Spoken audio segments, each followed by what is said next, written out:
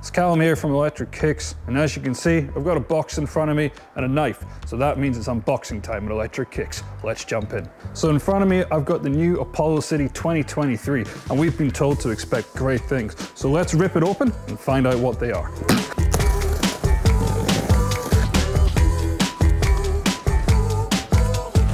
So let's take a look at what you get in the box. And the first thing you have here is this charger. And then once you remove this bit of polystyrene here, you've also got your Apollo City manual, a quick setup guide tells you what all the buttons do. Most importantly, with the City 2023, you get a free Apollo phone holder as well. So you don't need to buy one separately. And of course, you have the scooter itself.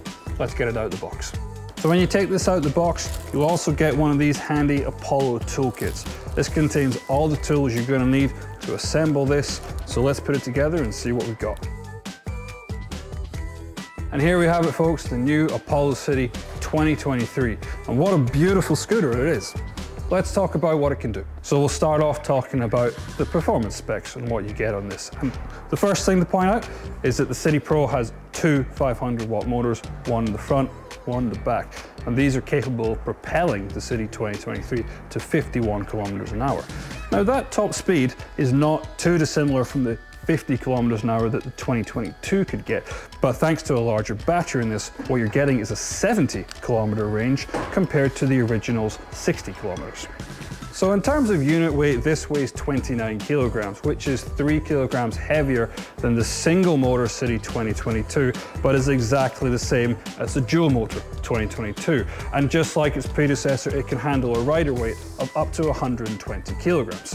So on paper, the performance stats of the new City model aren't too different from the originals. But what sets the City 2023 apart is the features and upgrades that it has other places on the ride. So let's find out what they are. So one of the biggest changes to the Apollo City 2023 relates to lighting and safety.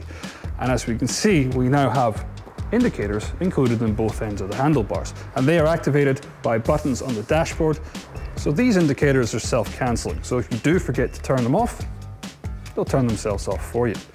What I also really like about the City 2023 is that unlike some scooters, the buttons to turn the indicators on are on opposite sides of the handlebars rather than being on top of each other, so that makes them easier to use as well. What you're also getting on the City 2023 is an upgraded clasp to lock the stem in place. Now stem wobbles not a new concept in electric scooters, a lot of them suffer from it, but Apollo are going that extra mile to eliminate stem wobble altogether. And what you get with that is a very, very firm, very secure locking mechanism. On the subject of locking mechanisms, this might not seem like the biggest change to talk about, but this extendable arm here now has a clip on it to lock it in place. So when you collapse it down like that and clip it in, that's not going to come loose when you move the scooter. And that's something the original didn't have. And this actually makes the scooter a lot easier to pick up and move around. When the original Apollo City 2022 came out, there were some sporadic reports of throttles that were sticking. And while that problem was rectified, Apollo have gone and put the solution as standard on the 2023. And what you get with that is a very smooth and stable acceleration. So there were plenty of things to love about the City 2022, and those reasons are why it was still one of our best-selling scooters even today. So let's talk about what they've kept on the 2023 version. So from front to back, we have the same regenerative braking that Apollo was able to perfect on the 2022, and that's more than capable of bringing the scooter to a stop without the use of the drum brakes on the front and back. We also have a slightly redeveloped light here that can be adjusted by moving it up and down. Moving further down the stem, we've got the same sleek, beautiful design that we came to know in the Apollo 2022. But moving forwards, we've got the same Puncture resistant self-healing tires, the same suspension on the front here. We've got the same beautiful design on the deck. And then towards the back, we've got double spring suspension and another self-healing tire. And all these features are what came together to make the 2022 a fantastically reliable ride.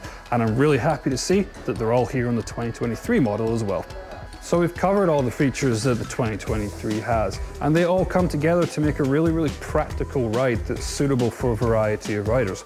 With a 50 kilometer top speed, it has the speed for those people that want to go a little bit faster, but thanks to its adjustable riding modes that you can change on the handlebars, if you don't want to go fast, you don't have to. Coming in at 29 kilos of weight, there are lighter scooters, but they are much heavier as well. With a 70 kilometer range, it can go the distance if you need it to go very far, but it can also handle short local trips if you don't want to go far. And this all comes together to just make a really, really beautiful and comfortable ride. Once you factor in the same IP66 water resistance rating, which is technically the beginning of things being considered waterproof, you actually end up with a scooter that you can use in any condition year round. So the original City 2022s you can see behind me here were best sellers. But when we considered how could these be made better, this is exactly what we had in mind. And these are already proven popular with customers on electrickicks.com.au. So if you want to get your hands on one, head to Electric get yours today.